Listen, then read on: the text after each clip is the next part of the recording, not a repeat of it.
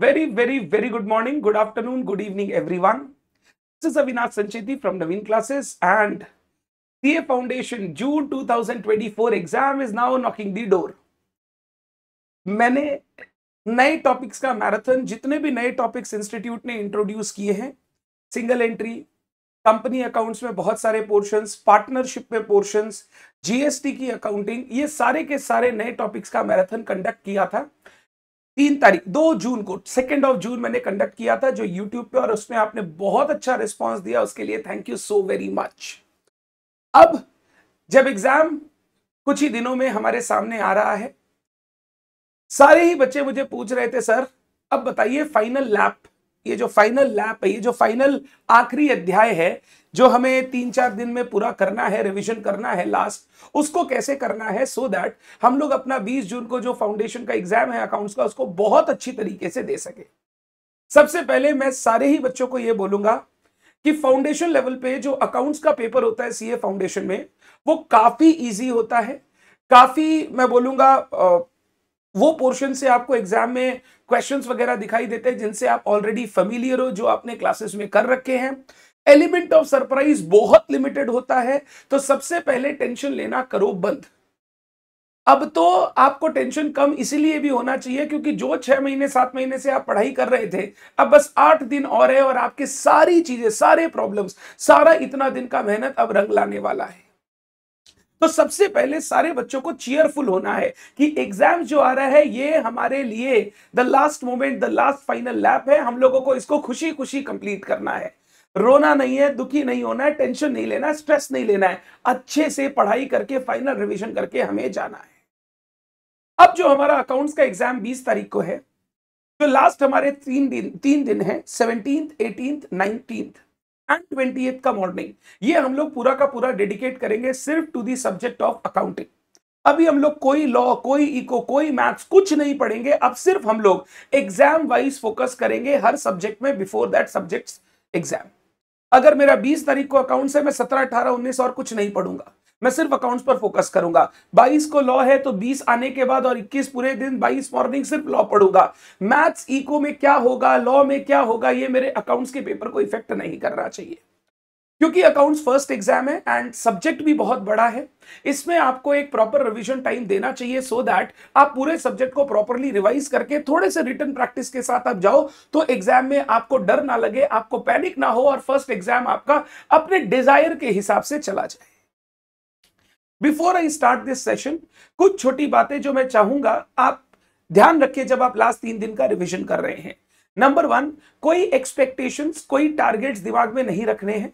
Expectation exam wise की भैया मैं अकाउंट्स में नब्बे लाऊँगा नाइनटी फाइव लाऊँगा एट्टी फाइव लाऊँगा, कोई एक्सपेक्टेशन दिमाग में मत रखिए। आप सिर्फ़ इतना ही इतना ही ध्यान रखें कि मेरे को तीन दिन अच्छे से रिवीजन करना है। जितना मैंने पढ़ा है, मेरे को उसमें पूरा हंड्रेड परसेंट जान झोंक के सिर्फ़ तीन दिन उसको रिवाइज करने में लगाना है प्रैक्टिस करने में लगाना है। नंबर टू क्योंकि हम लोग तीन दिन का समय ले रहे हैं, हमें कोई पोर्शन छोड़ने की ज़रूरत नहीं है। हम लोग रिटर्न प्रैक्टिस भी करेंगे हर चैप्टर के कुछ कुछ सम्स का। जैसे बीआरएस से दो क्वेश्चन बना लिया, एक विद एडजस्टेड कैश बुक एक without adjusted cash book bills of exchange में दो क्वेश्चन बना लिया, एक में अकोमोडेशन बिल एक other than accommodation bill depreciation में हमने बना लिया एक क्वेश्चन जहाँ पे परचेज डेप्रिसिएशन सेल वो सारे एलिमेंट्स है। एक जहाँ पर फैक्टर्स अफेक्टिंग डेप्रिसिएशन चेंज हो रहे हैं। थोड़े बहुत हाथ से क्वेश्चन बनाने से एग्ज़ाम हॉल में जब बैठ के आप लिखने बैठते हो ना तो आपका दिमाग और हाथ सिंक रहता है और आप बहुत अच्छे से पेपर लिख सकते हो। नंबर तीन, मेरे गुरु ज्ञान के वीडियोस को फॉलो करना ना भूले। ये जो गुरु ज्ञान मैंने मैराथन में लिया था, जो सेकंड जून को मैंने लिया था, मैंने चार से पाँच गुरु ज्ञान डिस्कस किए थे, बहुत इंपॉर्टेंट जैसे first fifteen minutes of reading time को कैसे यूज़ करना है। पेपर टफ आए इजी आए तो किस तरीके से अप्रोच करना है? पेपर पैटर्न अकाउंट्स का कैसा होगा? एग्ज़ाम में किस क्वेश्चन में किस चीज़ से पूछा जाएगा? सीक्वेंस किस तरीके से होना चाहिए आपके अटेम्प्ट का? ये सारी चीज़ें मैंने उस सेकेंड जून के मैराथन में डिस्कस की थी। वो सारे के सारे वीडियोस आपको अच्छे से देखने हैं, वो सारे के सारे गुरु ज्ञान आपको अच्छे से रेफर करने हैं। They are very very very important and revision जब आप कर रहे हो फाइनल कोई भी टॉपिक में, कोई भी चैप्टर में एक्सेस टाइम वेस्टेज करने की ज़रूरत नहीं है। अगर आपको लगता है आप खुद से कर पाओगे तो खुद से करना है। अगर आपको लगता है खुद से कुछ टॉपिक में कुछ ध्यान नहीं आ रहा है तो मेरे हर टॉपिक के रिविजन वीडियो मेरे हर टॉपिक के मैराथन वीडियोस ऑलरेडी यूट्यूब पर अवेलेबल है। अगर आप मेरे स्टूडेंट हो तो हमारी वॉल्यूम टू के पीछे मैंने सारे क्यू आर कोड दे रखे हैं। वो क्यू आर कोड स्कैन करके आप आराम से काम कर सकते हो वीडियोस देख सकते हो। आप मेरे स्टूडेंट नहीं हो तो कोई भी चैप्टर के नाम के पीछे लिखो, अविनाश संचेती, अपने आप मेरे वीडियोज़ आ जाएँगे और आप वो वीडियोस रेफर करके अपना रिविजन कर सकते हो। बट वही टॉपिक जिसमें आपको प्रॉब्लम हो रहा है पूरे पूरे चैप्टर रिवीजन आपको, मैराथन वीडियो, रिवीजन वीडियो से नहीं करना चाहिए। आप मेरी समरी बुक उठाए, उससे थ्योरी रिवीजन करना चालू करें प्रैक्टिकल कॉन्सेप्ट रिवीजन करना चालू करें एंड उसके बाद जैसे ही चैप्टर कंप्लीट हो जाए दो तीन क्वेश्चन अपने हाथ से बनाओ then move to the next chapter बस इतना ही काम करना है आपको रिविजन में। Last but not the least जो चैप्टर अभी तक आपने छुआ नहीं है, अच्छे से प्रैक्टिस नहीं किया है लास्ट तीन दिन में उसको हाथ लगाने का ज़रूरत नहीं है। जैसे कोई बच्चे ने अगर एनटीओ की क्लासेस नहीं कर रखी है, या एनटीओ क्लासेस के बाद कभी रिवीजन ही नहीं किया था, अब रिवीजन करने बैठेगा तो छह, सात, आठ घंटे वेस्ट हो जाएँगे। डोंट डू इट लीव एनटीओ बिकॉज़ हमारे पास एक चॉइस है, जो होगा देखा जाएगा। You can do one thing खाली एक बार थ्योरी रीड करके चले जाओ so that true false theory question या कोई इजी टाइप का क्वेश्चन है सब्सक्रिप्शन अकाउंट बनाने वगैरह का, उतना आप कर सको।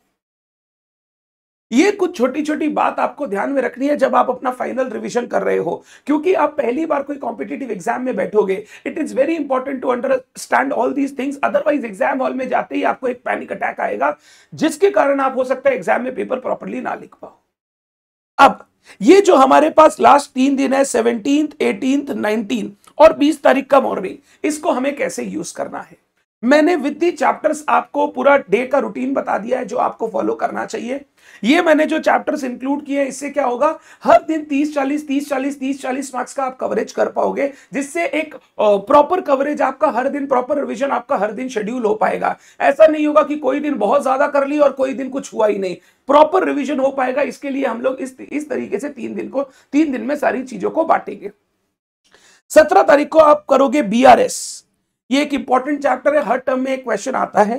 कैपिटल रेवेन्यू ट्रांजैक्शन एक ट्रू फॉल्स आपको 100 परसेंट देखने मिलेगा, साथ ही साथ, क्योंकि डेप्रिसिएशन चैप्टर से इसका लिंकेज है तो कैपिटल रेवेन्यू ट्रांजैक्शन मेरी सबरी मैट से खोल के फटाफट आप एक बार रिवाइज करें। Then join depreciation bills of exchange ये चार चैप्टर जो हमारे फाइनल अकाउंट से पहले वाले पोर्शन के ये चार चैप्टर आपको डे वन में करने हैं। इसके बाद आप सीधा कंपनी अकाउंट्स में जाओगे, जहाँ पर issue forfeiture of share bonus and right issue and preference share जो शेयर वाला पोर्शन है, पूरा कंप्लीट कर देना डिवेंचर वाला पोर्शन हम लोग नेक्स्ट डे पर लेके जाएँगे। तो फ़र्स्ट डे में BRS capital revenue depreciation bill of exchange and company accounts का शेयर वाला पोर्शन आपको कंप्लीट करना है। सेकेंड डे में आप जाओगे फाइनल अकाउंट्स पोर्शन में, जहाँ inventory final accounts rectification single entry and company accounts का जो issue and redemption of debenture वाला पोर्शन बाकी है, वो आप सेकेंड डे पर कंप्लीट करोगे। फाइनल अकाउंट सिंगल एंट्री जैसे चैप्टर बिना क्वेश्चन बनाए नहीं कर रहे हैं। आपको क्वेश्चन बनाना ही पड़ेगा। मैं तो बोलूँगा सब चैप्टर में बनाना पड़ेगा। फाइनल अकाउंट्स और सिंगल एंट्री में ज़रूर हाथ से दो तीन क्वेश्चन बनाए। इन्वेंट्री चैप्टर में जो इन्वेंट्री टेकिंग वाला टॉपिक है, उसमें भी एक दो क्वेश्चन अपने हाथ से बनाए, क्योंकि वो सब अगर हाथ से बना के जाओगे तो एग्ज़ाम में you will be able to crack those things otherwise crack करना डिफ़िकल्ट हो जाएगा। जो हमारा नाइनटीन का डे होगा, अब इसमें सिर्फ़ बचे हुए दो चैप्टर एनटीओ एंड पार्टनरशिप जो बच्चे पार्टनर सुबह आपको उस दिन पार्टनरशिप से चालू करना चाहिए, बड़ा चैप्टर है। फाइनल अकाउंट्स ऑफ़ पार्टनरशिप आपने किया, उसके दो तीन क्वेश्चन प्रैक्टिस किए। देन आप गए रिकंस्टिट्यूशन में, चार पाँच क्वेश्चन प्रैक्टिस किए।